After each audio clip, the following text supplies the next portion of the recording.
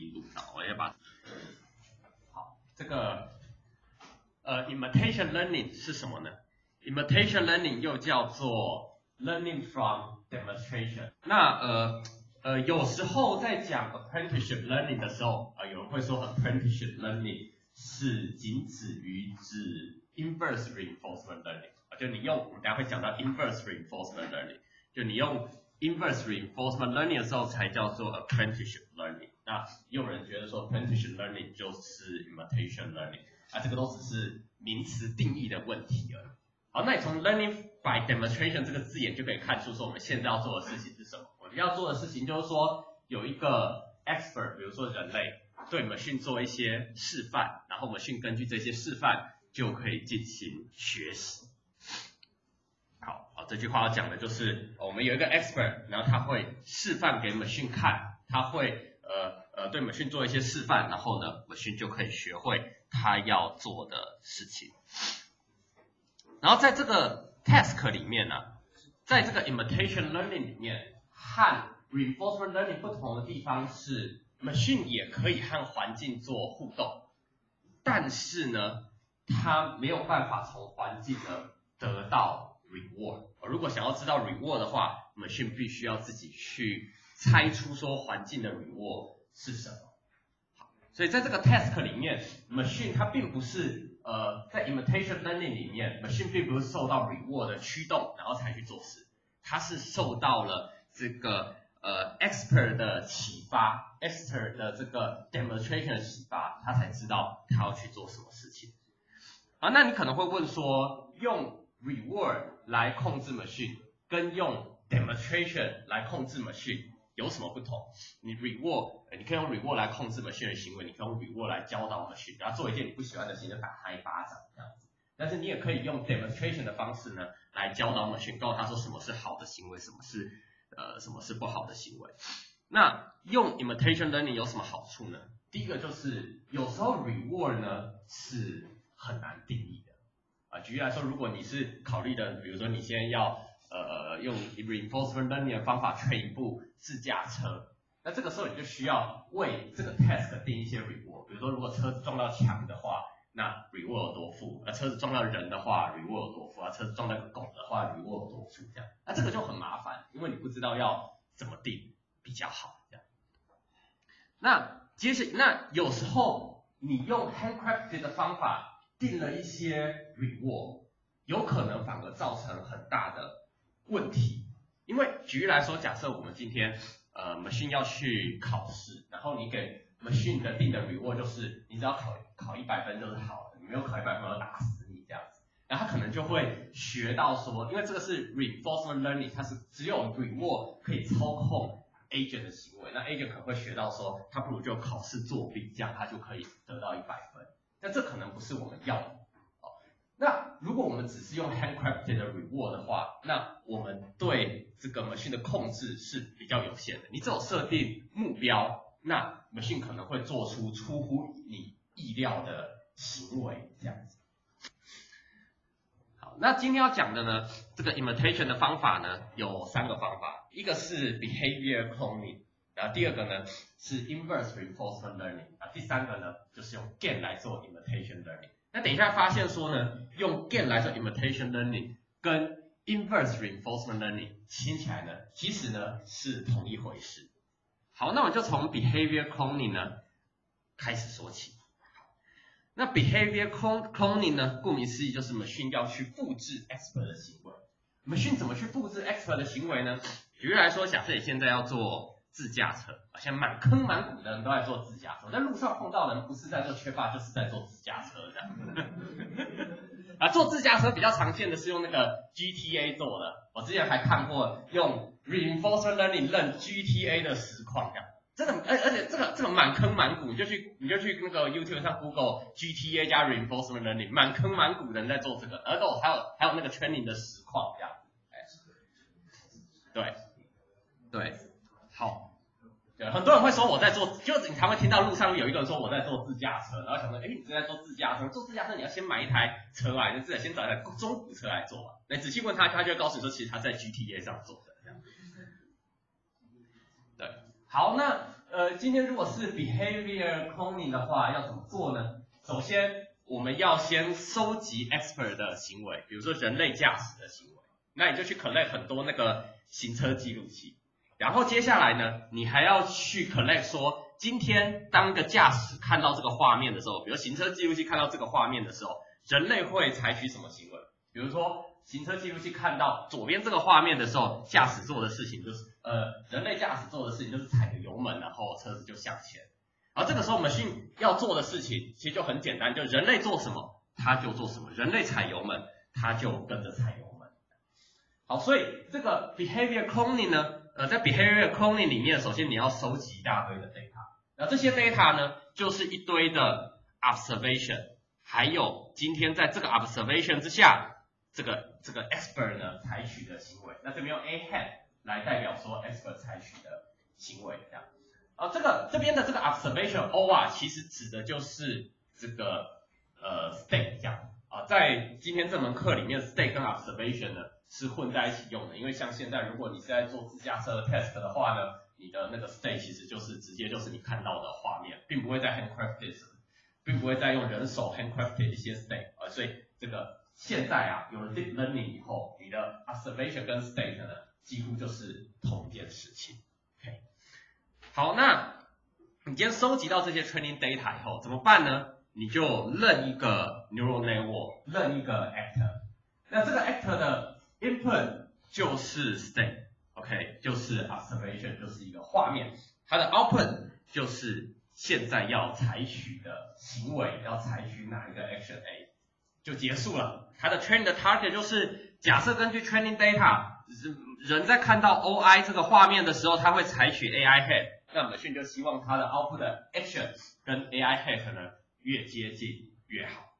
结束。那想到这不就是 supervised learning 吗？就好像只是把这些 observation 看作是呃 function 的 input 看作是 x，然后这些 action 看作是 function 的 output 的 target 就是 y。对，就是 supervised learning 结束，跟一般 supervised learning 没有什么不同。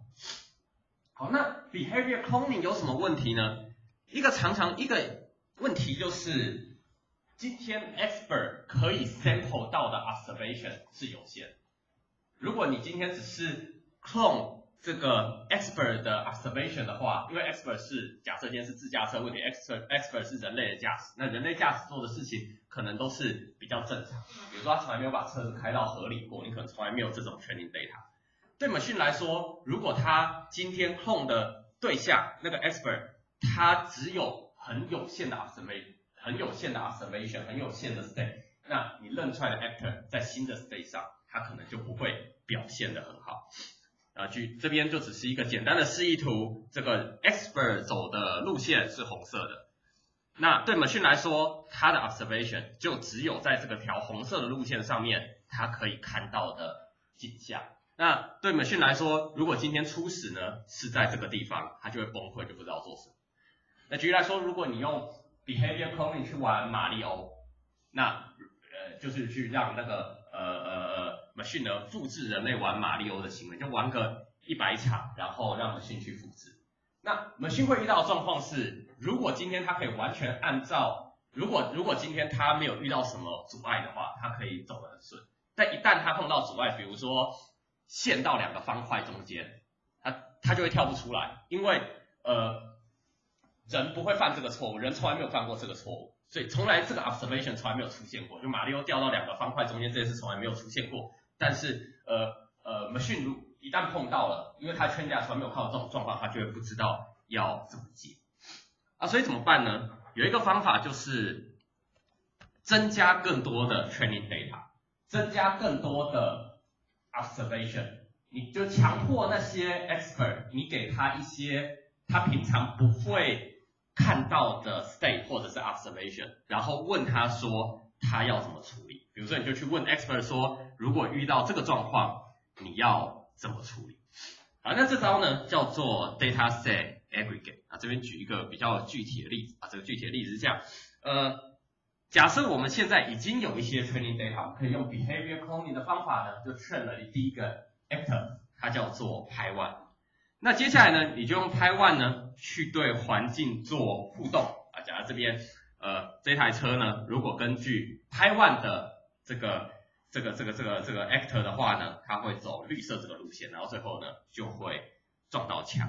然后这个时候，这个车上呢有一个 expert，他会不断的告诉你说，今天在这个状况下，他会采取什么样的行为。那这样就可以告诉 machine 说，今天一个 expert 如果在这些 state 下面，在这些 machine 会经历的 state 下面，他会采取什么样的行为？哦，所以今天这个 expert 呢，就会告诉 machine 说，哦，今天在这个 state，今天在看到这个画面的时候，虽然你要往直走，但是呢，如果是人的话呢，会想要把方向盘向右这样。好，那在这一条线上的每一个 observation，我们都请 expert 呢做 label，说他要做什么。举例来说，最后呢，车子撞到墙了。然后虽然 expert 努力的把方向盘往右，但是那个方向盘是假的这样子，呃，这个方向盘只是要拿来做 label 用的，所以 expert 就会很慌张，然后最后车子呢就撞到墙这样，因为 machine 是按照它的 policy 走，它其实不管 expert 做的 label 这样，那 expert 的 label 只是告诉 machine 说，下次如果再看到同样的 stay 那你要把方向盘向右，啊，那 expert 呢就跟着车子一起车毁人亡，然后所以每次做一次实验，你都会损失一个 expert 这样。对，好，那你现在呢，就有了刚才那个 expert 牺牲自己以后换到的 data，然后你就可以去 train 一个新的 policy，你就把这个 expert 牺牲自己换到 data 跟之前的 data 全部都合在一起，然后你就可以 train 一个新的 actor high to 这样好。啊，这个方法听起来是比较，如果用在自驾车上面，可能是比较荒谬的这样，但是如果在其他有一些 task，也许你还是可行的。举例来说，假设今天是下呃苹果棋。就假设今天今天今天某一种游戏，你其实可以呃穷举所有的结果，知道说最好的 state 其实是哪一个。只是今天在实际下棋的时候，因为时间不够，不能让你穷举接下来所有的结果。那穷举接下来所有的结果这一件事情，就可以当做 expert。也就是说，呃。呃，你今天让我们去学下某种比较简单的棋，比如说苹果棋，好，我假设苹果棋可以穷举所谓最接下来所有的结果了，这样，好，那在每一个 step，machine 都按照它自己的 policy 下，都按照它自己的 actor 决定下子的位置，但是同时在每一个 step，你都用穷举的方法穷举接下来所有的路数，看看说哪一步是最好的，那你就可以 collect 到 expert 的 state 跟 action 的 pair，然后你就可以做 training，好，这样大家知道我的意思吗？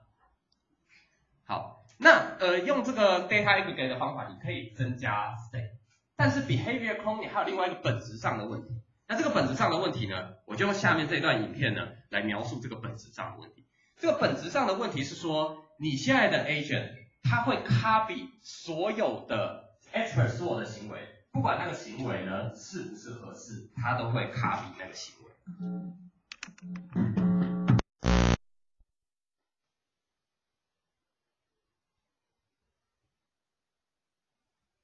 我认为今天如果你的 actor 它的 capacity 够强的话，也就是说它可以完全 copy 你的 actor 的行为，在不考虑 overfitting 的情况下，其实是没有问题的。就假设你今天你的 actor 可以完全 copy actor 的行为，今天在同一个 state，你的 actor 的行为都跟 actor 完全一模一样，它其实做的不会比 actor 还要差。但是真正害怕的情形是，今天。你的 actor 它的 capacity 都是有限的，那呃尤其是你其实会希望你的 actor 的 capacity 是有限，因为如果它 capacity 是太大的话，你很容易 overfitting，所以你会让你的 actor 的 capacity 是有限，在有限的 capacity 之下，这个 expert 哪些行为要被 copy，哪些行为不要被 copy，就会变成对结果有很大的影响。举例来说，在刚才那个例子里面，有人跟你说你叫什么名字，那你可以说我的名字是修的。你也可以比这个手势这样，但是对，因为 Sheldon 他是一个 genius，所以他可以记得 language 跟手势。但是假如 actor 他比较笨，他要么就记得语，要么就记得 language，要么就就记得 gesture 的话，那就会变成他记哪一个就变成了关键。如果他说，那他选择忘记 gesture，只记得 speech 的话，哎，那是好的。没差，虽然没有完全复制 expert 的行为，但没有关系，不会有什么影响。但是如果他选择的是他要复制 gesture，他只复制这样，然后他把那个语音的部分就忘记了，那你就会得到一个差的结果。但是在 behavior cloning 里面，我们其实没有考虑到这个问题。behavior cloning 如果当做一个简单的 supervise，普通的 supervise learning 问题就做下去的话，对 supervise learning 来说，今天这两个 case 都是左右两个 case 都是有一部分答对，有一部分答错，所以对一般的 supervised learning 来说，做的是一样好或者是一样不好。所以如果今天只有一般的 supervised learning 要做 behavior cloning 的话，你就会有我们这边说的这个问题。所以要解决这个问题，理论上你应该要给予不同的错误不同的 weight 哦，你要给这个你要给给这个 machine 一个 sensitive 的 cost function，它犯不同错误的时候给它不同的 penalty，他犯不同错误的时候 cost 的大小是不一样的，但是这件事情就呃不太容易知道要怎么定。好，那接下来呢，我们再呃再。呃，用不同的观点来讲一下为什么 behavior cloning 可能会造成问题。那 behavior cloning 的一个问题就是在 training 跟 testing 的时候，你很容易你的 data distribution 就是不一致的，它 distribution 就是不一致的。怎么说呢？在 behavior cloning 里面，呃，我们现在的这个 supervised learning 的 problem 就是 input O output A 嘛。但是今天这个 input O output A 这件事啊。就是你会看到什么样的 observation，其实取决于你的 actor 本身的参数。这样，这这这句话我特别就是套一个黑色的红红黑黑黑黑色的出体又加斜体，这样这句话很重要，大家了解我的意思吗？就是你今天会看到什么样的 observation，其实取决于你本身，其实取决于 actor 本身的参数，对不对？如果今天以自驾车的 case 为例，如果是一个很强的 expert 的话，你可能永远不会看到车子往墙撞过去，这样，除非你的呃 policy 很弱，你的 actor 很弱，是一个很烂的 actor actor，你才会看到说现在呃车子往墙撞过去的 state。所以今天在 behavior cloning 里面，你会看到什么样的 state，其实取决于你今天的呃呃这个 actor 的参数是什么。所以如果你是跟你的 actor 跟 expert 一样，如果是 expert 的话，他会 sample 到一个这个这个 observation 的 distribution。但如果你是另外一个 actor，他只是想要去 cloning expert 的行为，但他没有办法完全复制 expert 的行为，他只能部分复制，没有办法完全复制的时候，这个时候呢，O point 的 distribution 就会跟 O 呢是很不一样。哦，如果你今天这个呃 PyStar 这个 actor 在 testing 的时候，就你认好你的 actor 以后，你这个 PyStar 你认出来的 actor 跟 expert 的 actor 正好是一模一样的话，那你的 training 跟 testing 的 data 就有一模一样的 distribution。那你在 training data 上认的 model 就被 apply 到 testing data 上面去。但是问题是，今天如果 PyHead 跟 PyStar 不一样的话，那你就会影响了你的 observation。如果你今天你的这个 cloning 的结果跟 expert 的这个 actor 有略有不同的话，这个时候，呃，你的 observation 可能就会变了。而这个当 PyStar 跟 PyHead 有多大的不同对，它当拍 star 跟拍 head 有不同对这个 observation 有多大的影响，这件事是是不知道。有可能说，呃，两个 actor 其实很很不像，但是他们的 observation 差不多。有可能两个 actor 只是差一点点，就 observation 就天差地远，这都是有可能的。所以变成在 behavior cloning 的时候，你要么你的认出来的这个这个拍 star 跟拍 head 一模一样，只要有一些差差距，你就会面临一个很，你就有可能会得到很大。哦，只要有一些差距，你就可能导致你的 observation distribution 很不一样，那这个时候你的 error 就会被放大。好，所以这个是 behavior cloning 的问题。好，所以接下来呢，就有下一个方法，这个方法呢。叫做 inverse reinforcement learning，IRL，就 reinforcement learning 已经很潮了，前面再加一个 inverse 就感觉更潮这样子。那这个 inverse reinforcement learning 又有人叫做 inverse optimal control 或 inverse 这个 optim 呃 optimal planning 啊，指的呢其实都是一样的东西。好，那 inverse reinforcement learning 在做的事情是什么呢？从顾名思义就知道说它是 reinforcement learning 反过来。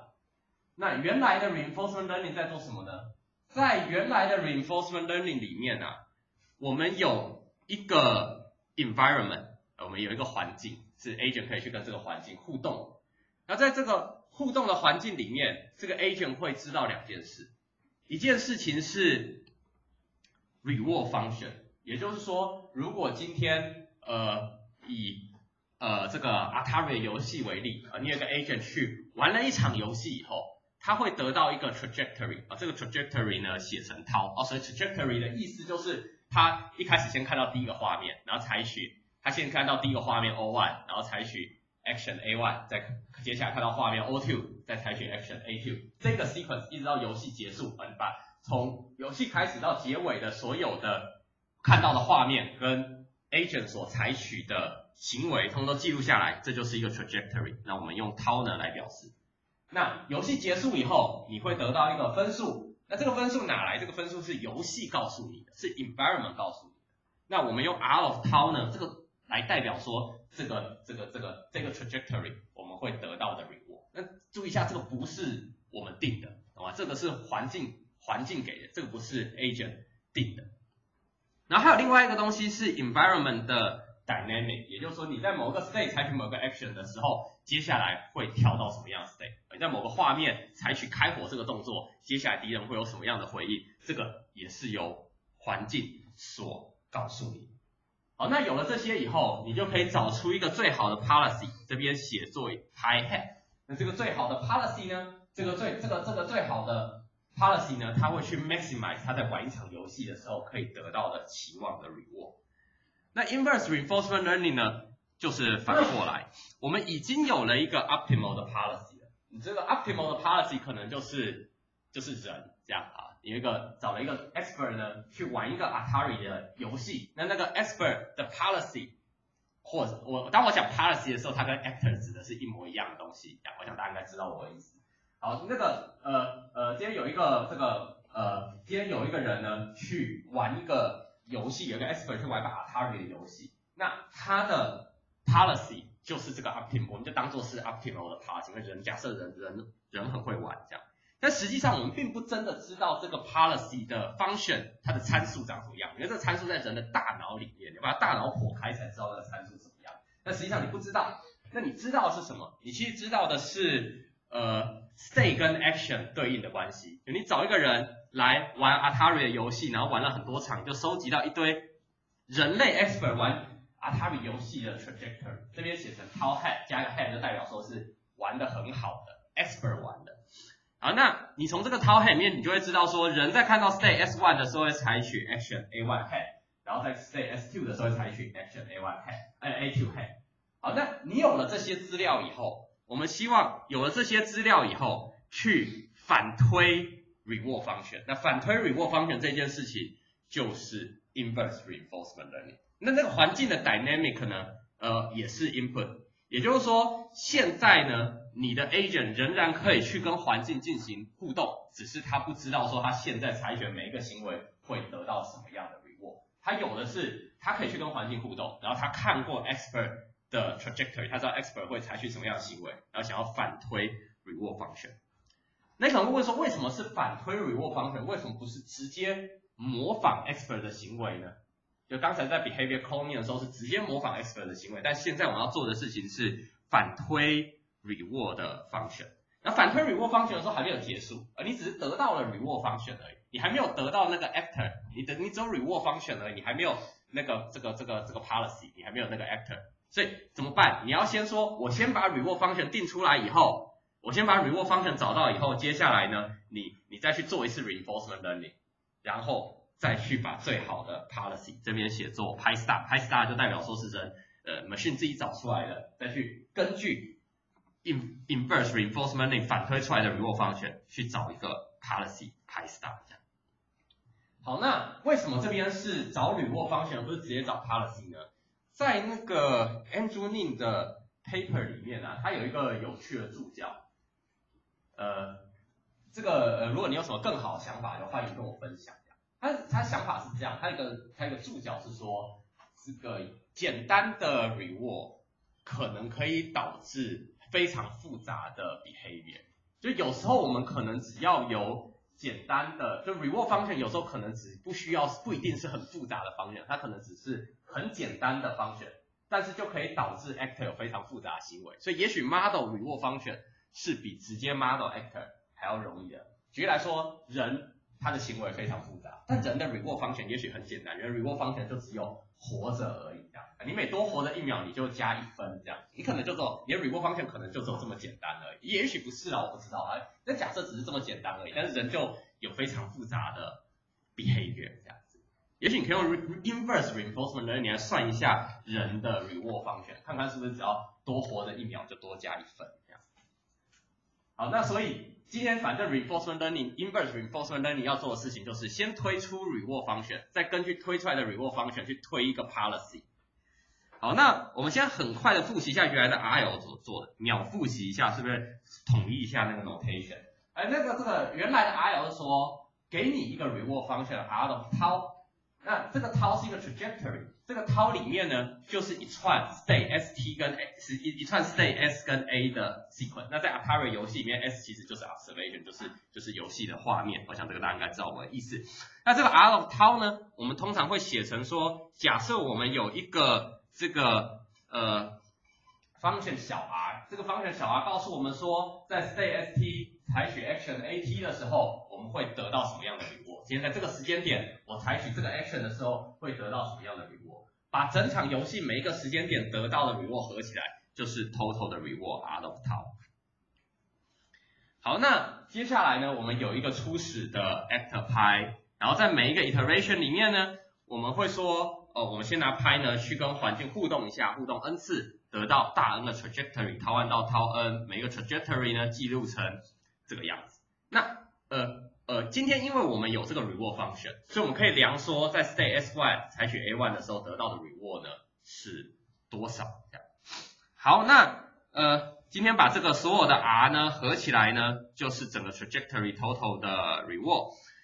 那接下来我们可以算一个东西叫做 expected total reward。expected total reward 意思就是说，假设我现在的 actor 就是拍，那呃 in average 得到的 reward 会是多少？因为每次玩游戏的时候得到 reward 都是不一样的嘛，所以得到用用拍这个 actor 得到 reward 的期望值是多少？那可以计算一下，那其实很简单，就是 n 个 trajectory 的 total reward 的平均而已。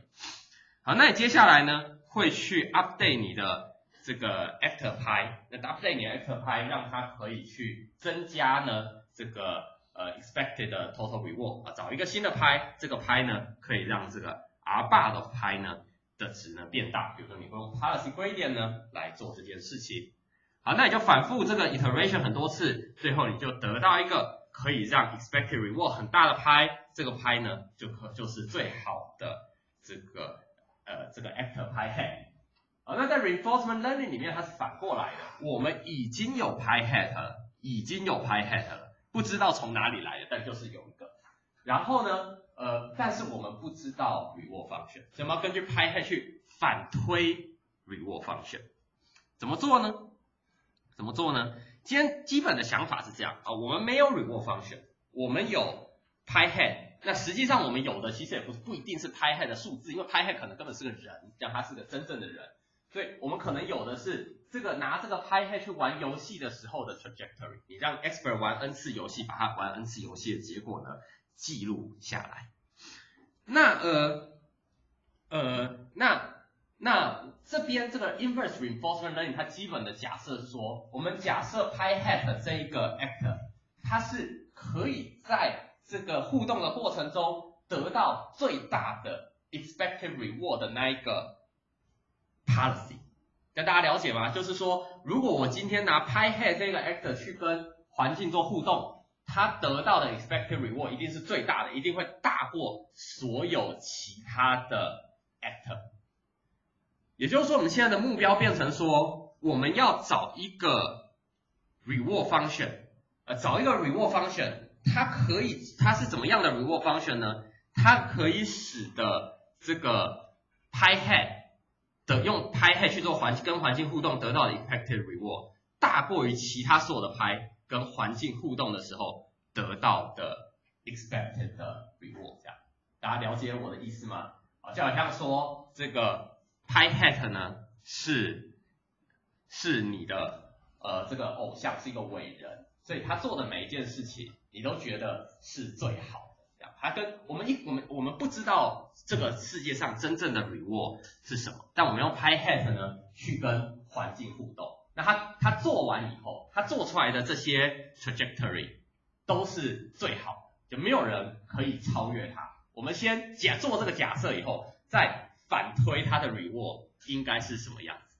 大家听得懂我的意思吗？啊，听得懂我的意思吗？假如说，呃，有一个伟人是大家很崇拜，他先去做很多的事情，然后我们才定义人类的价值观，然后告诉我们说，这个伟人做的事情都是对的，这样子。哎好，哎，这样大家有问题吗？有问题吗？好，没有问题吗？好，那其实啊，这件事情跟 structure learning 是非常像，其实其实是其实是一样的东西。怎么说呢？在 inverse reinforcement learning 里面，我们要找我们的 reward function。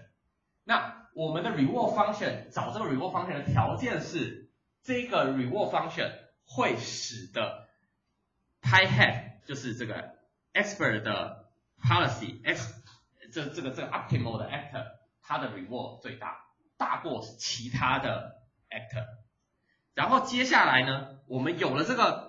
这个这个 reward function 后，我们做什么事？有这个 reward function 以后，我们要去找出一个最好的 policy pi star。有了这个 reward function 以后，我们再去说，现在用 reinforcement learning 的方法，我们去找一个 policy pi，这个 policy pi 呢，可以让 r bar of pi 的值最大。我们先找出这个 reward function，这个 reward function 找的条件呢是这一条式子。那接下来呢，我们有了这个 reward function 以后，再去找一个 policy，它可以让这个 reward function 的 reward 最大。那这跟 structure learning 没有发现其实是同一件事吗？在 structure learning 里面，我们训练的条件是什么？我们要找一个 evaluation 的 function，这边写作大 F，这个大 F 就是 input 一个 x y 的 pair。那我们希望说 x 对上正确的 y y hat，x 跟 y hat 这个 pair 它的 evaluation function 大过所有其他的 x y 组成的 pair。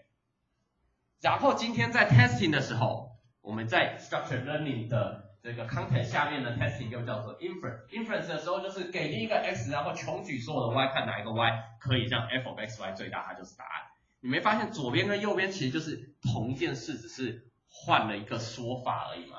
我们只要说这个拍就是 y，你可以想成说这个世界上只有一个 x，所以 x 假设假设现在 training data 里面呢就只有一笔 x，啊，所以这个 x 呢你就可以忽略不计。好，那这个 pi hat 呢，就是 y hat，pi 呢就是 y，这个 r bar 呢就是 f。expect 我们有一个 pi，我我们把这个 pi 带进一个方程里面，就可以算出 expected reward 吧。我们把 y 带到 evaluation function 里面，就可以算出一个分数。那我们希望 y hat 的值大于其他的 y，我们希望 pi hat 带到 r bar 这个方向里面。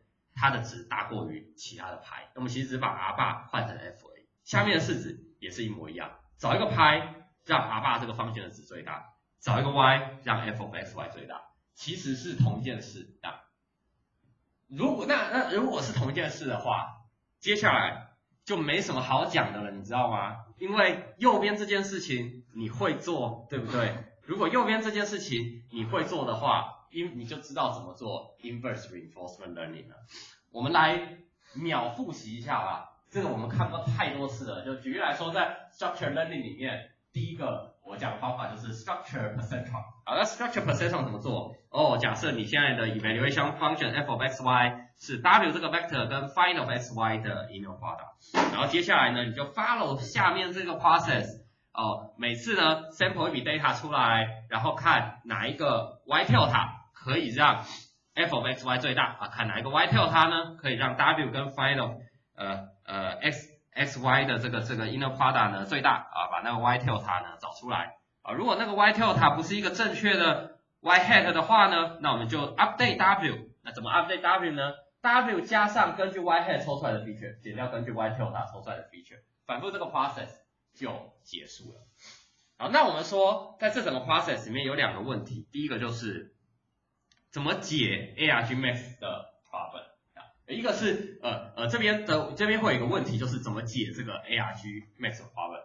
那下面这个式子其实就是增加下面这个 update 的式子啊，它要做的事情就是增加正确的 y head 的 evaluation function 的值，减少错误的 y tail 它的 evaluation function 的值。那接下来呢，我们只需要把 inverse reinforcement learning 跟 structure perceptron 呢做一个对比，然后你就知道 inverse reinforcement learning 怎么做了。好，怎么做对比呢？首先我们先看一下在 structure perceptron 里面，我们强迫说 f of x y 它是一个 linear 的 model，它是 w 这个 vector 跟另外一个 feature vector 的 inner product。在 in 在 inverse reinforcement learning 里面，如果我们可以做同样的限制，我们也可以用同样的限制来定义我们的 expected reward。如果我们可以用同样的限制来定义 expected reward，就可以完全套用 structure perceptron 的方法来解 inverse reinforcement learning。好，这个怎么定呢？怎么把拍的 total expected reward 写成一个 feature vector 跟 final 拍的 inner product 呢？跟一个怎么写成一个参数的 vector 跟一个 feature vector 的 inner product 呢？那我们就看看怎么做呢？就这么做，有以下就讲说怎么做啊。有一个现在假设有一个涛呃有一个 trajectory 呃一个 trajectory。好，那接下来呢，我们怎么写这个 r bar of theta 呢？我们说 r bar of theta 就是 n 个 trajectory 的 reward 的平均。那这个每一个 trajectory 呢，每一个 trajectory 的 reward 又可以写成每一个 time step 的 reward 的总和，也就是 r of tau 可以写成 summation over t 等于一到大 T r of t，代表在 t 这个 step 得到的 reward。那其实每一个 tau 的长度不一定一样，所以每一个 tau 的 t 的大 T 的大小不一定一样。这边为了简单起见，所以把它省略。但是呢，我们现在要做的是 inverse reinforcement learning，所以 rt 的值我们是不知道，reward 是我们要被找出来的东西，所以我们是不知道 rt 的值应该是多少的，因为 rt 是我们的呃呃 rt 是由我们 model 的参数所决定的，它是要被找出来的啊，所以我们就定说这个，当然你可以有不同的定法啊。今天之所以要这么定，是为了希望把 inverse reinforcement learning 跟 structure perceptron 的式子写成一样，所以这么定。好，那我们怎么定这个 rt 呢？我们说 rt 等于一个参数的 vector w 跟一个 feature vector f 的 inner product。这个参数的 vector w 是我们接下来要被求出来的，它是要被找出来的。这个 feature vector f of stat 呢，就是从现在的 state 跟 action 的 pair 抽出一个 vector。哦，如果你看呃，如果你看一些 paper 的话呢，很多 paper 是没有把 at 呢放在这个 f 里面的，就是现在的这个 reward 呢跟呃只跟 state 有关，跟你采取的 action 无关，这样也可以。这个东西都是你自己定的，这样你要怎么定就就怎么定，这样。哎，我们这边就假设说，现在的 reward 呢是跟 f 是跟在哪一个 state，还有在那个 state 采取什么 action 有关。我们根据现在所在的 state st，还有采取的 action at 抽一个 feature，把这个 feature 跟一个参数的 vector w 做 inner product，我们就可以得到在 t 这个时间点的 reward。那我们接下来要做的事情就是把 w 找出来。好，w 是参数，f of stat 是 feature vector。好，那知道讲真大家有问题吗？你可以接受吗？如果你可以接受的话，那就把 rt 换成 w 跟 f of stat 的 inner product 吧。那你会得到什么呢？你把这一项带进去，那 w 对所有的 n 对所有的 trajectory 对所有的时间点都是一样，所以你可以把 w 呢提出来，变成对所有的 trajectory 的所有的时间点的 st 跟 at 都抽一个 feature，哦，对所有的 trajectory 的所有的时间点的 st 跟 at 都抽一个 feature，把这些 feature 通通平均起来，得到一个 feature vector，好吧？你知道在 feature vector 平均起来还是 feature vector？这个平均的 feature vector 跟 w 做 inner product 以后，就会得到我们的 expected 的这个这个这个这个这个 expected 的 reward 这样。嗯，我这边是不是犯了一个错呢？也不算犯一个错啦，这个 set 啊，我我我把它我我我把想要把它改拍啊，在这边呢忘记改，我反正试着右边也没有 theta 也没有拍就是了，OK，啊这个呃这个 feature vector 啊，这个 f of stat 的平均啊，这个 feature vector 呢其实是 depend on 你的 policy 的，其实 depend on 你的 actor 的，你的 actor 不一样，你得到的 feature vector 就是不一样的，这样，哎，大家知道知道我的意思吗？所以可能会说这个这个这个这个 feature vector 不是应该跟这个拍有关系吗？它确实跟拍有关系，你的这个拍不一样，你当然会看到不同的 state 会采取不同的 action，所以你的 feature 呢当然是不一样的。所以把可以把这一串东西就看作是对你现在的 actor，就是对一个 actor 拍呢抽一个 feature 啊，这边就写成 final 拍。然后把这个 final 拍乘以 W 就会得到你的 expected 的 total expected 的 total reward。好，所以我们可以把 R 这个式子，我们可以把 expected total reward 式子写的跟 structure perceptron 一模一样。好，接下来有一个 ARGMax 的方法我们说在做 structure learning 的时候，最你会害怕遇到问题就是解这个 ARGMax 的方法。这个 ARGMax 的 problem 解得出来的话，你就可以做得了 structure perception，而且它的收敛的速度。还是有保证的。那今天你能不能够解 ARG？你能不能找到一个 policy 派让你 expected total reward 最大呢？你是可以的。其实这件事情就是 reinforcement learning 呀。所以你你原来 reinforcement learning 怎么做，这边就怎么做。OK。好，所以今天呢，在这个 inverse reinforcement learning 里面，如果用 structure perceptron 方法来解它，其实每一个 iteration 你都要。做一次 reinforcement learning 这样啊，所以呃它的运算量可以是很大。好，那实际上怎么做？我先把整个动画都跑出来好了。好，实际上怎么做的呢？首先先初始化一个 random 的 reward function，根据这个 random 的 reward function，你去找一个牌，来去找一个 actor。啊，这个 actor 可能很笨，因为它是从 random 的 reward 里面呃呃呃找出来的。这样子，然后比如说，搞好这 random reward 是说撞墙就得到十分，那这个一一直撞墙的 actor 这样。好，那用 reinforcement 呢，你就可以解这个东西，只这个运算量可能会很大就是。那但永远可以想出有没有更好的方法来解它。好，那你就找到了一个 actor。好，接下来呢，你就用这个 actor 去跟环境呢做 n 次互动，得到了 trajectory tau one 跟 tau n。然后 expert pi hat 呢，也去跟环境做 n 次互动，得到套 one hat。跟 tau n hat，那这个实际上这个 expert 可能是什么样的东西呢？举例来说，如果在自驾车里面，就是呃，你对人类的驾驶记录一下，它在不同的情况下会做什么样的反应。如果今天是机器人的话，如果你要用这个，你要让机器人自动学会做某些行为的话，那 high hat 就是这个这个这个 tau tau tau hat 呢，就是人去抓着那个机器人的手去做某一件事情，就是 tau hat。好，那接下来呢？我们有了一大堆 expert 所制造的套 hat，有一大堆 actor，现在你找出来的 actor 可能很弱的 actor 所制造出来的套。那接下来呢？你就要去 update 你的 reward function。update 的准则是，update 的准则是希望呢，这个 expert 它的 expected 的 reward 大过现在你的 actor 的 expected 的 reward。那假设你现在根据我们前一页投影片定那个呃 expected total reward 的方式，你就定好说呢，根据我们前前一页投影片定 expected total reward 的方式，你就定好说呢，你的阿爸就是长这个样子，而你的阿爸就是根据拍呢抽一个 feature，其实这个 feature 就是把所有这边的 trajectory 的 state 跟 action 的 pair 拿出来，都抽个 feature，把它平均起来，就得到这个 final 拍啊。总之不同拍你会得到不同的 feature，把这个 feature 呢乘上一个 weight parameter w，你就得到这个阿爸。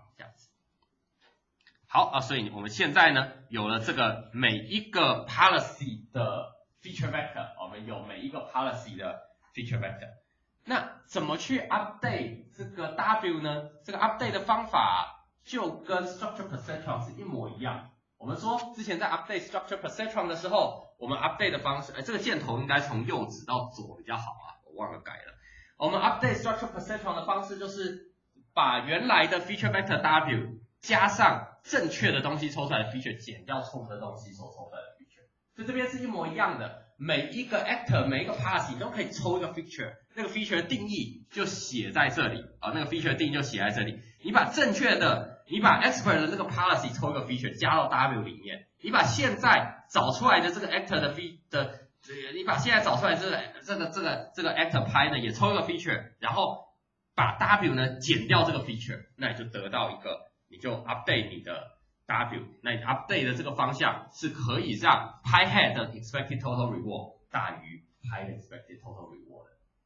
哎，这样讲真到什么问题吗？没有吗？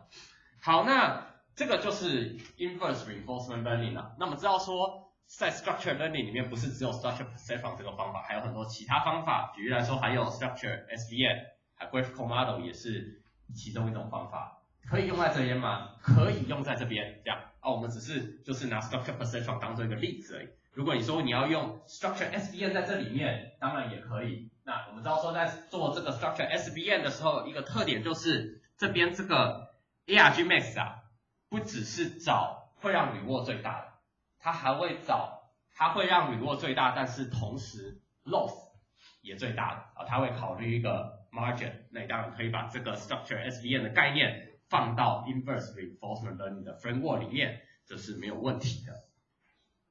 好，接下来呢，我们知道说现在每一件事情都一定要用 gain 来做一遍才好，这样子，哎，所以用 gain。也可以做 invitation 的 learning。那怎么用 gain 做 invitation 的 learning 呢？我们先想想看，本质上 gain 要做的事情是什么？本质上 GAN 要做的事情是找一个 generator，这个 generator 产生一个 distribution，这个 distribution 跟一个 target 的 distribution 越接近越好。那我们现在呢，可以把每我们现在假设我们有已经有一个 pi head，代表是 expert 的 policy。那这个 expert 跟环境互动的时候，它会产生一大堆的 trajectory t a l head。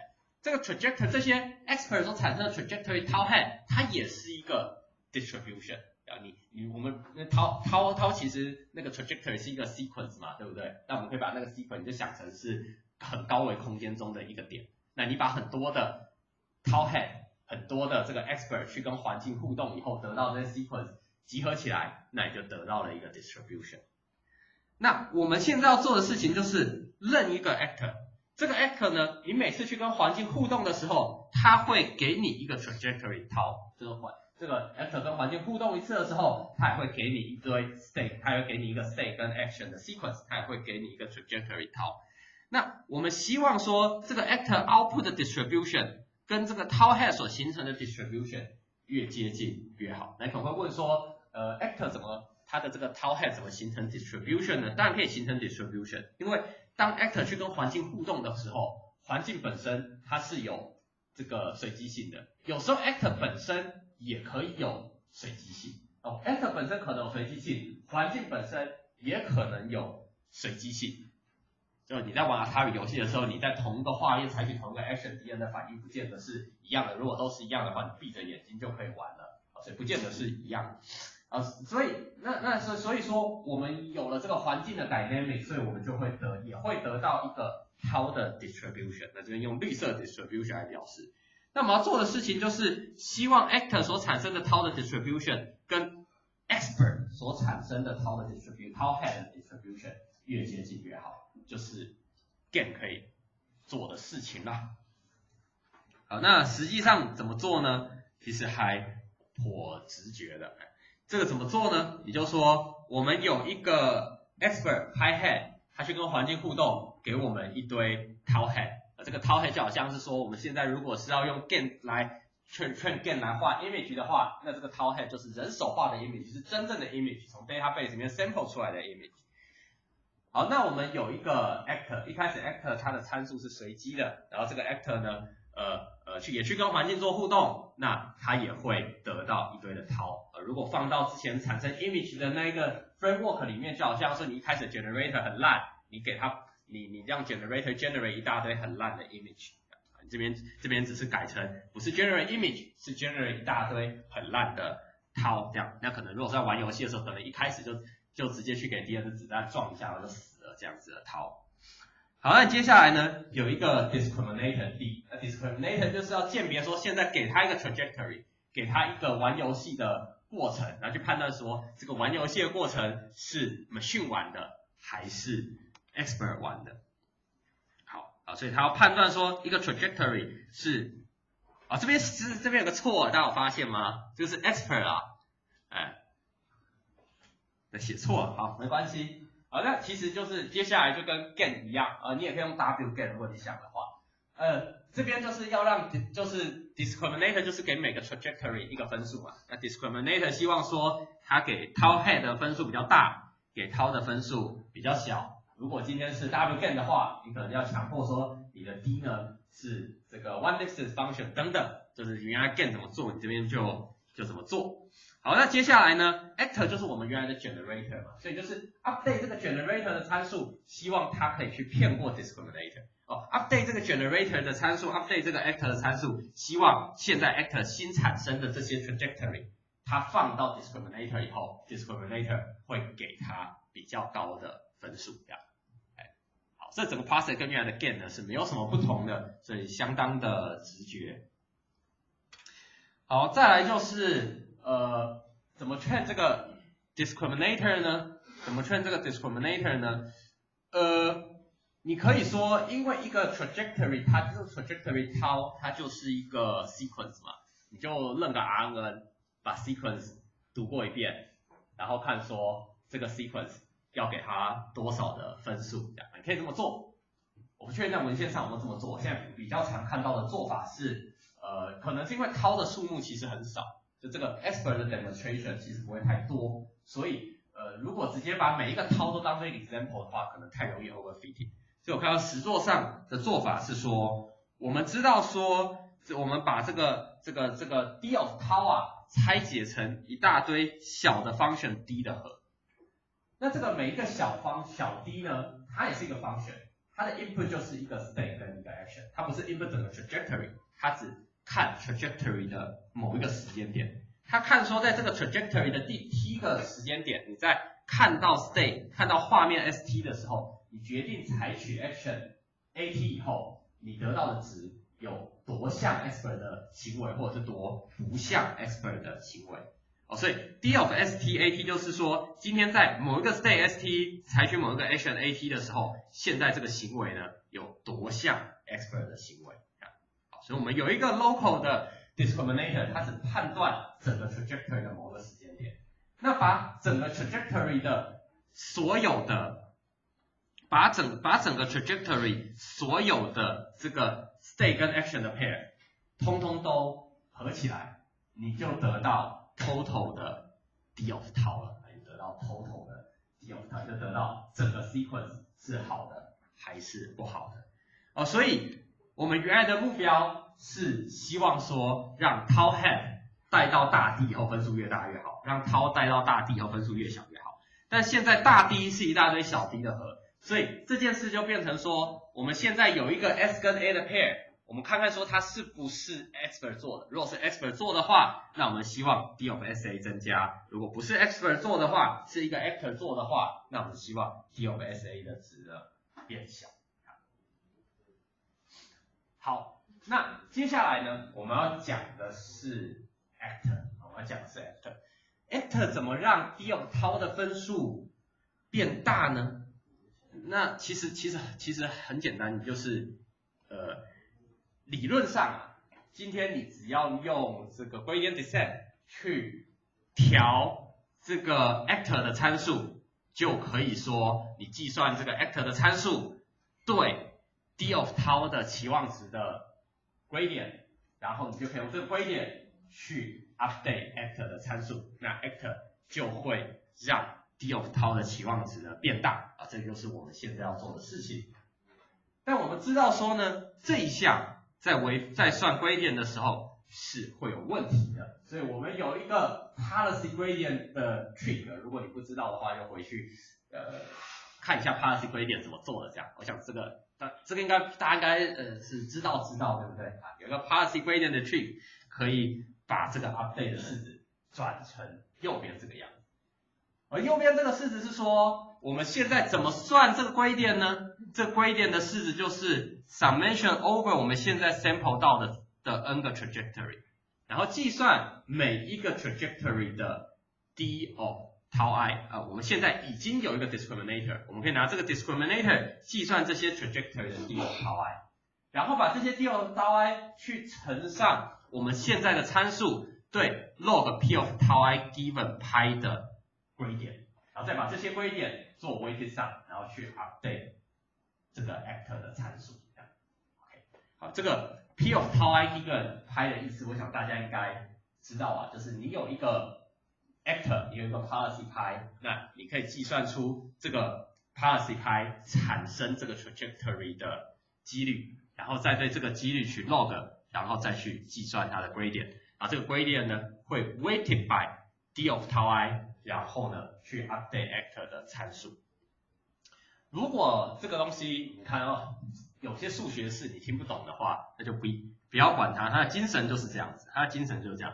它的精神就是说，现在你已经有一个 discriminator，这 discriminator 可以告诉你说，现在一个套到底是好的还是不好，是 expert 做还是不是 expert 做的。然后你就拿你的 actor 拍呢去跟环境互动 n 次，那互动 n 次的结果，你再把这 n 次的结果丢给 discriminator。那如果 discriminator 说你现在这次互动的结果感觉很像是 expert 做的。那我们就增加这一个 trajectory 未来出现的几率，你就去调你的参数拍，你会调拍的参数，让这个 trajectory 的几率上升。如果发现说这一个行为很不像是 expert 做的，就把它的参数呢调低，这样子。那如果这个你也没听懂的话，那我就告诉你说，其实啊，找这个 actor 调这个 actor 参数的过程，就是一个 reinforcement learning problem，这个就是 reinforcement learning，就是。那只是这个 reinforcement learning 它的 reward 就是 d of tau i 这样，我们把 d of tau i 视作 reward，直接用 reinforcement learning 的 algorithm 去 update 去认你的 actor，就是我们今天在做的事情，就我们现在这一页投影片在做的事情。那我们之前有讲过说这个 d of tau i 啊，这边这个今天这个这个今天这个。d of tau i 啊，如果你把它只是换成呃 d of stat 的话，呃，那你的 machine 就会失去 planning 这一件事情，它就没有做 planning，那它做的行为可能就会跟 behavior coding 呢很像哦，所以考虑整个 trajectory 的分数在这里呢是需要的，但是你其实可以做的更好啊，如果你看那个 sequence gain 的那篇 paper 的话，你可以给每一个 step 呢。不同的，你可以给一个 trajectory 的不同的 step，都给它不同的 value，这样也可以做这件事情。好，那我们就 summarize 一下，呃，这整个 algorithm。好，这整个 algorithm 是这样啊，怎么用 GAN 做 imitation learning 呢？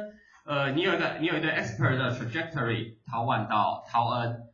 然后接下来呢，你有一个初始化的 discriminator 和一个初始化的 actor，然后在每一个 iteration 里面，你都拿你现在的 actor 呢去玩 n 场游戏，去跟环境互动 n 次，得到 tau one 跟 tau n。那这个 tau 1到 tau n 呢，呃呃呃，这个这个，然后接下来呢，你你你有了这个 tau 1到 tau n 以后，你就可以去认一个 discriminator，discriminator 会给 tau head 比较大的分数，给 tau 呢比较小的。分数，那 discriminator 你可以定成这样啊，你不想定成这样也可以啦，这都是你自己自己决定的。好，接下来呢，你要 update 你的 actor 的参数，哎，update 你的 actor 参数，希望 update 的啊啊，希望 update 以后呢，这个 actor 呢，可以在 discriminator 这个 actor 的 trajectory 丢到 discriminator 以后，它可以得到比较高的分数。那 update 的式子就是这样，熟悉 policy 规点就知道我在说什么，不熟悉你就反正你知道它的精神在做什么就是了。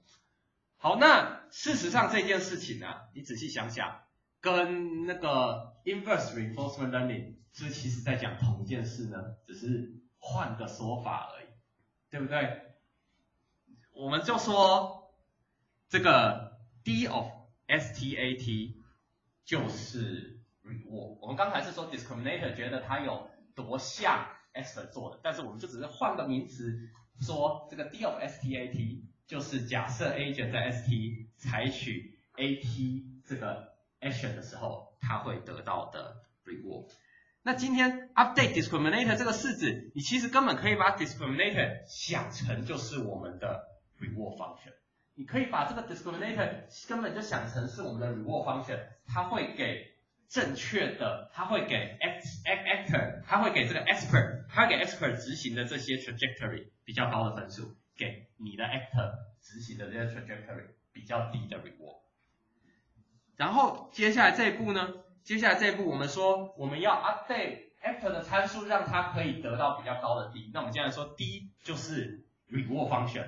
那 update expert 啊 update actor 做的是啊 update actor 去得到比较大的 reward function，不就是我们在讲 inverse reinforcement learning 里面，我们不是说在整个 iteration 里面每一次都要解一次这个这个这个 reinforcement learning 的 problem 去 maximize 要得到的 reward 吗？其实就是一模一样的事情，对不对？好，这样大家理解吗？所以其实这个用 game 去玩 imitation learning 跟 inverse reinforcement learning 其实指的是同一件事情。你只要说现在的 discriminator 它的 output 就是 reward，你只要你只要说现在 discriminator 其实它 output 那个数值就是 reward，那它跟 inverse re 要用 gain 做 imitation learning 跟 inverse reinforcement learning 其实就是同一回事。好，那我们之前有讲过说我们可以用这个。呃呃，其这个这个，我们之前有讲过，说我们可以用 in 这个这个 gain 呢去做 sentence generation，或者是去认一个圈霸。其实 sentence generation 跟认圈霸这个问题，它就是一个这个 imitation learning 的 problem。虽然我们之前没有这样讲，但它事实上它就是一个 imitation learning 的 problem。怎么说呢？举例来说，在 sentence generation 这个 task 里面。你 expert 的 trajectory 是什么？expert trajectory 就是人曾经说过的句子，人曾经产生的句子就是 expert 的 trajectory。假设你现在要做的是唐诗的生成，那 expert 的 trajectory 就是唐诗三百首里面的句子。哦，比如说床前明月光，就是李白这个 expert 的曾经产生的一个 trajectory。就李白这个 expert 他要去写一首诗，那他产生的一个 trajectory 就是床前明月光。那在这个床前明月光的这个这个 trajectory 里面呢，我们的 state 或者是 observation 还有 action 到底是什么呢？我们说一个 trajectory 就是一串的 state，还有那在每一个 state 采取的 action 嘛。我这边用 O 来代表 state，虽然前面是用 S 来代表 state，但其实其实是一样的意思的。好，在这个 case 里面，在这个 trajectory 里面呢，你的 O1 就是 begin of sentence，就什么都还没有写。然后呢，A one 就是我们采取一个 action，写了床这个字。那你说得到多少 reward 呢？不知道，因为现在是 imitation learning 嘛，imitation learning 它它的重点跟 reinforcement 不一样的地方就是，我不知道我每次采取一个 action 的时候，到底得到多少 reward。我们只知道说 expert 做的事情就是对的而已。哦，所以 S 李白写了床这个字以后，他到底得到多少 reward，我们其实是是不知道的。然后他写了床之后，这个句子到底有多好，我们其实，这个诗到底有多好，我们其实是不知道。好，接下来 O two 是什么？O two 就是已经写了床这个 word，然后接下来呢，A two 就是写了钱这个 word。那 O 三呢，就是已经写了床前这个 word，然后 A 三就是写了名这个 word。那每次写一个 word 的时候，得到的 reward 多少，其实不知道。每次写一个 word 的时候，这个句子有多，这个诗这首诗有多好，其实其实不知道。这样啊，所以我们可以用 inverse reinforcement learning 的方法，用 get 的方法。把这个呃呃呃把这个 reward 呢把它找出来，啊切法也是一样啊，什么是一个 expert 的 trajectory？你就去录一下人的对话，那其实就是 expert 的 trajectory。你知道说有一个人说 How are you？然后另外一个人就说 I'm fine，就是一个 expert 的 trajectory。那在这边的 state 和 action 是什么呢？这边的这个 state 就是现在的 input 加上 beginning of sentence 好。就是第一个 state，那它的第一个 action 就是说出了爱这个 word，好，接下来第二个 state 就是 input sentence 加上 I 这个 word，然后第二个 action 就是说出了 and 这个 word，那第三个 state 就是 input 加上 I am 这两个 word，然后第三个 action 就是说出了 fine 这个 word，所以这也是一个 imitation learning 的 problem，啊，就有 expert 在示范他在做什么事情给你看，但是你不知道他的 reward 是什么。然后你要去模仿这些 expert 的行为。如果你是用 maximum likelihood 的劝法来做 sequence generation 还有缺乏的话，那其实做的就是 behavior cloning。那 behavior cloning 我们前面有讲过，有种种的问题，那所以我们可以用 GAN 来做的更好，所以有了 sequence GAN。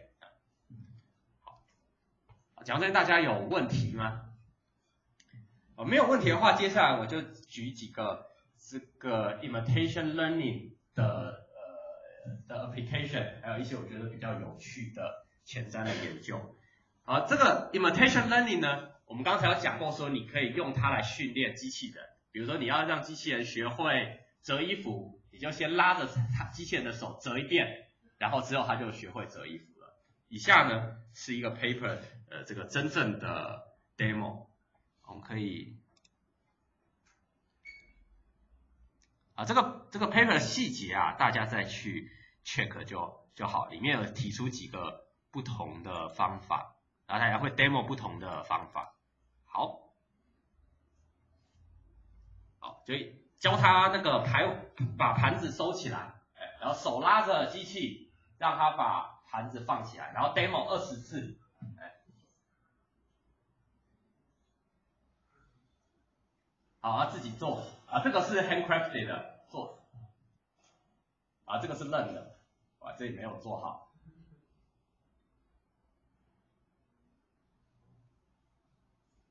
这个就成功了。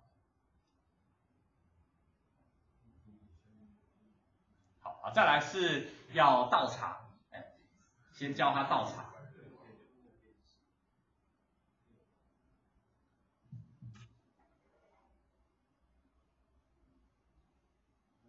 啊，总共 demo 二十次，这是第三次 demo。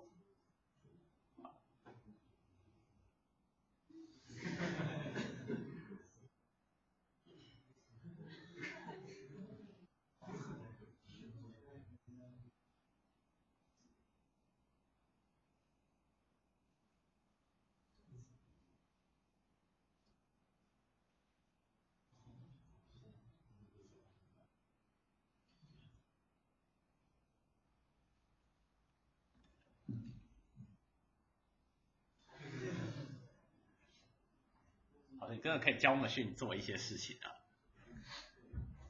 好，那再要举另外一个例子是跟自驾车有关。那我们知道说，你要认自驾车用 reinforcement learning 的方法认是很困难的，因为你很难定你的 reward function。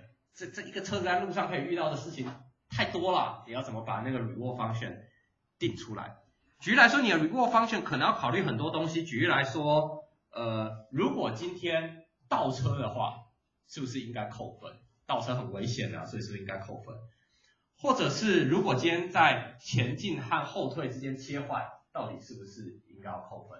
或者是今天如果车子没有走在该走的路上，没贴着线走，是不是应该扣分？或是呃，或者是说，如果今天车子有个急转弯的话，会会不会应该要扣分？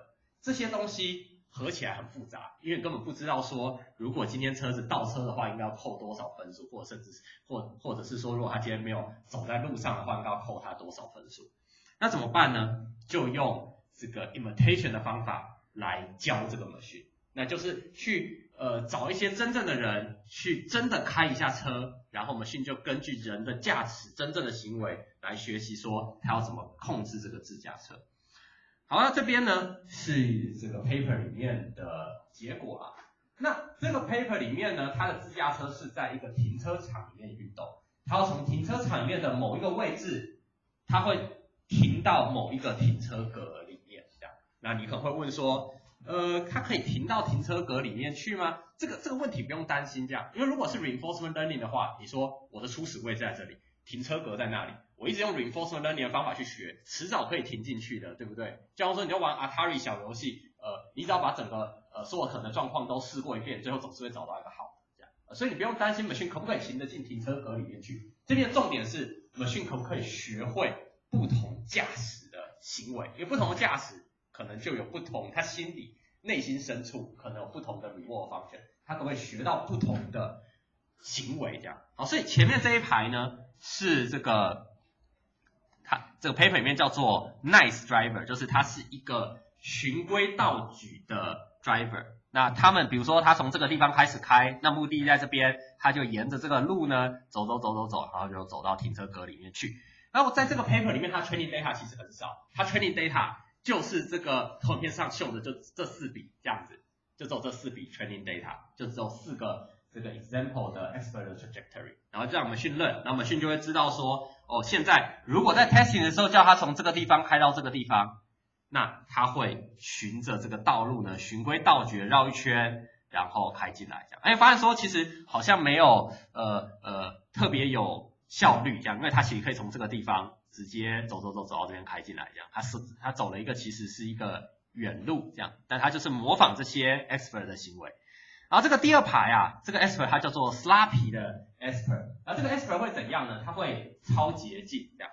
举例来说，现在它的呃位，它的初始值，它初始位在这边，它的终点在这边，它会切过其他的车，就是说这边明这边其实是不能够走，这边不是路啊。但是它可以从这边，反正中间也没有车，它可以开得过去，它直接从这个地方，呃，离开原来该走的道路，离开道路的，然后到另外一个地方。它是个懒惰的 driver 这样。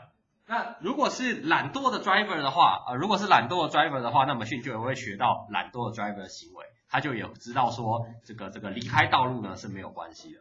或者是最后一个 case 是可以倒车的 driver，啊，就是 driver 可以倒车，那么训就会学到说。倒车是没有关系的。这边还有另外一个例子是这个 have turning 的例子啊，这边是要教 machine 呢怎么规划你要走的道路啊。这边的 case 是这样子的，在 training 的时候，你告诉我们训说，如果你要从这一点走到这一点，那你就走这一条绿色的线，这样。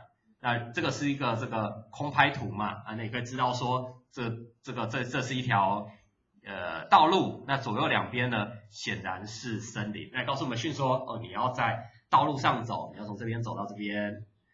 好，那 machine 接下来它就会学到了一个 reward function 啊，这个是用 inverse reinforcement learning 的方法 learn 的，所以它会学到一个 reward function，它会知道那这个 reward function 长什么样子呢？如果我们把那个 reward function 套到这一张图上的话，它会知道说，这个黑色应该是代表 reward 大。然后白色代表 reward 小，他会知道说，如果走在道路上就是 reward 大，走在森林里不走在道路上就是 reward 小哦，所以之后你就要从这个点走到这个点，他就会循着绿色这一条线走。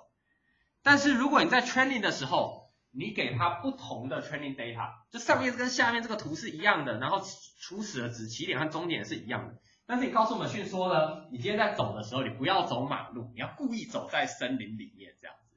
这个其实也是很有 application，这也是有一个合理的 application，比如说要躲避这个呃轰炸机的轰炸这样子，所以你今天在从下面这个点到上面这个点的时候，你要尽量避开道路，你要尽量走在这个森林里面。如果你给 machine 的这个 training data 是不一样的话，它就会学到不同的 reward function，所以它 reward function 就变了。今天上面这个图这两张图是一模一样的，但是因为 imitation 的对象。expert 的 policy 不一样，所以学到 reward 就变成不一样，就会变成说走在森林里面的 reward 是大的，走在路上的 reward 是小。那今天在同一个情况下，告诉我们迅速要从这点走到这边，我们迅就会知道说他要躲到森林里面去，然后再走出来这样子。好，那这是一些应用啊，接下来举几个研究的例子。那一个研，那一个有趣的研究叫做 third person 的 imitation learning。那你觉得这个这 third person imitation learning 你仔细想想，我觉得它还蛮实用。你看刚才我们怎么教机器人做事情？我们是拉着机器人的手去做事情。举例来说，你要让机器人学会打高尔夫球，那也就是拉着机器人的手，让它去打高尔夫球。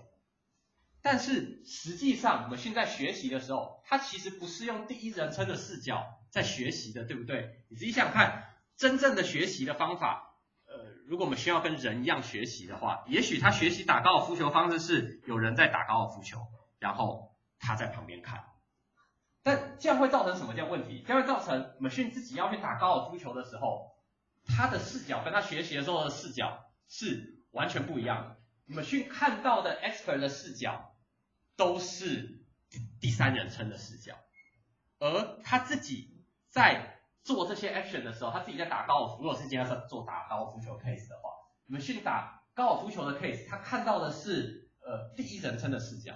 像如果你认一个 discriminator，discriminator 一马上发现说，哦，现在 expert 的 trajectory 是这个样子，然后 machine trajectory 是这样，完全不一样，一秒就会被发现。然后 machine 不管怎么努力，它可能都没有办法逼近这个呃呃，它可能都没有办法逼近 expert 的 trajectory，因为他在观察 expert 和他自己的观察他自己，在跟跟他自己真的在跟环境互动的时候，他们视角本来就是不一样的，所以永远弄不成一样的东西，那怎么办？哎，这边还有蛮有趣的想法，在这个想法里面，他引入了这个呃 domain adversarial training 的概念。大家知道这个 domain adversarial training 吗？不知道的同学举手一下啊。哦哦哦，不好意思，原来这么多不知道。好，这样好，这个 domain adversarial training 是这个样子的。而且我因为上学前 machine learning 有讲，它是它是什么意思呢？它是说。这个，如果我们现在有 data 来自于两个不同的 domain，那我们有一个类似 gain 的方法，可以把两个不同 domain 的 feature map 在一起。怎么做？我们就是 train 一个，我们我们就是呃 train 一个 feature extractor 跟两个 discriminator。那假设现在是手写数字分类的问题，好，那其中一个 discriminator 它的工作就是要辨识。数字根据 feature 的 extractor extract 出来的 feature 去辨识数字，然后接下来有另外一个 domain 的 classification，它会决定说现在这个 feature 是来自于哪一个 domain。那在 learning 的时候，feature 的 generator 它的目标就是它希望它产生的 feature 可以被正确的辨识出正确的数字，但没办法被辨识出是哪一个 domain。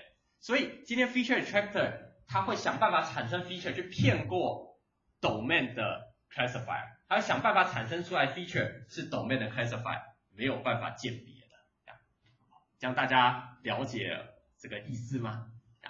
如果有问题的话，呃，就是话可以发欢迎举手发问，这样，好，大家都知道吗？好，那其实今天的概念呐，跟今天这个 third person imitation 概念跟 domain adversarial training 呢是一模一样。如果你知道你有看过 domain adversarial training 那个 paper，你就觉得说这个图很熟啊，很熟。好，那今天在这个 test 里面呢，它是它的这个这个 classifier，它的这个这个 discriminator 呢是 input 两个 observation，是 input t 时间点 observation 跟 t 加四这个时间点的 observation。呃，但是在今天为了简单起见，你就把 t 加四想成是 action 好。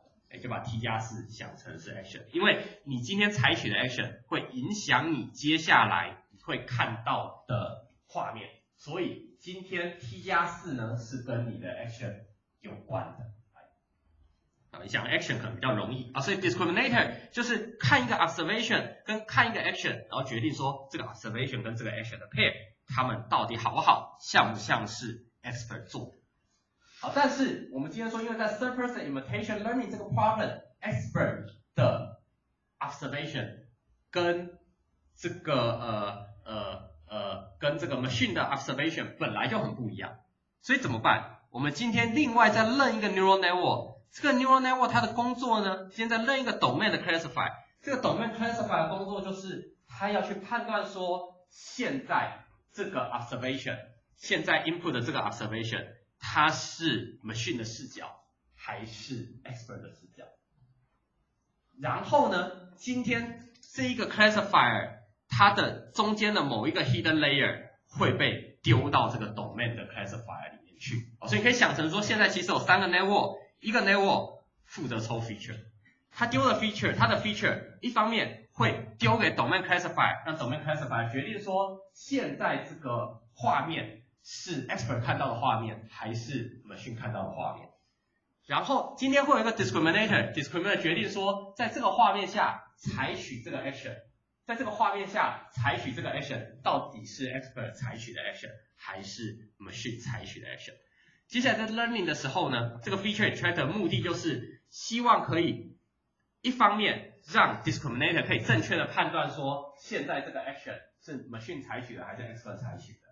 另一方面，另外一方面，同时这个 feature extractor 又希望可以骗过这个 domain classifier，他希望说，虽然原来 domain 的，虽然原来 expert 和 machine 看到视角不一样，但通过这个 feature extractor 以后，两个不同的视角会被 align 在一起，这个 domain 的 classifier 会分分辨不了说这个视角是来自于 machine 的视角还是 expert 的视角，这 domain classifier 会把两个不同的视角把它放在放在一起。然后今天这个 classify 是根据这个一样的视角再去决定说是 expert 的行为还是 machine 的行为这样。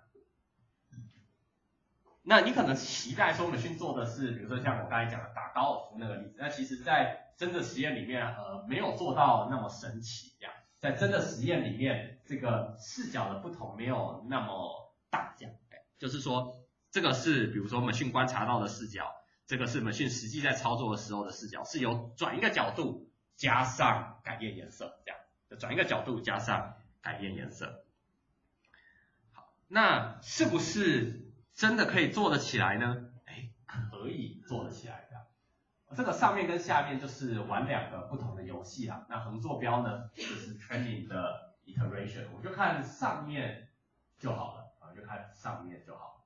那你会发现说呢，今天有一个蓝色的最高的线呢是 RL，这个意思就是说，我们就不要管什么 imitation learning，我们假设说有幸真的就可以去玩这个游戏，它去可以得到。reward，然后他是自己在玩的，然后又 reward function，然后他的视角 training 跟 testing 的视角没有什么不一样问题，所以这个是一个 upper bound 啊，这个是一个 upper bound。